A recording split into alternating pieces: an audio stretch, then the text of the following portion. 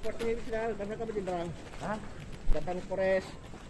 Saya ke sini tuh ngecek ya penanganan oleh Polrestabes terkait dengan eh, berita viral adanya anggota Polri oknum anggota Polrestabes khususnya Polsek Delitua ya yang melakukan modus operandi memeras masyarakat memeras saya bilang tuh memeras ya memeras masyarakat dengan modus pura-pura dikatakan bahwa dia melakukan pelanggaran. Ya.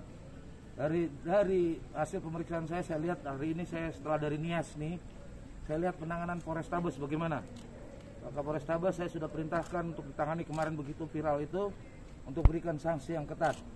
Dan saya tadi sudah dapat laporan dari Pak Kapolrestabes sejak tadi malam yang bersangkutan sudah ditempatkan di tempat khusus.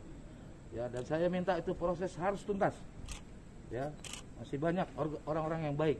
Masih banyak anggota Polri yang baik yang bekerja pagi siang malam ya untuk masyarakat melayani masyarakat.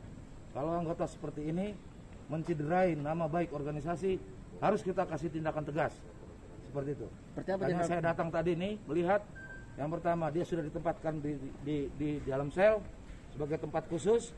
Dan kedua proses hukumnya tidak hanya disiplin tapi kode etik ya termasuk pidana ya makanya saya minta tadi diproses itu tuntaskan saya pada kesempatan ini mohon maaf kepada masyarakat ya kalau masih ada anggota Polri yang melakukan pelanggaran seperti ini.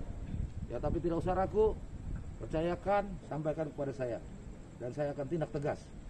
Dan ini tolong dibantu ya lakukan pengawasan. Masyarakat semakin baik semakin pintar. Dan ini saya kalau anggota yang salah tidak boleh kita setengah-setengah hati. Harus tegas juga ya itu saja teman-teman sekalian. Terima kasih. Ya. Terima kasih, ya.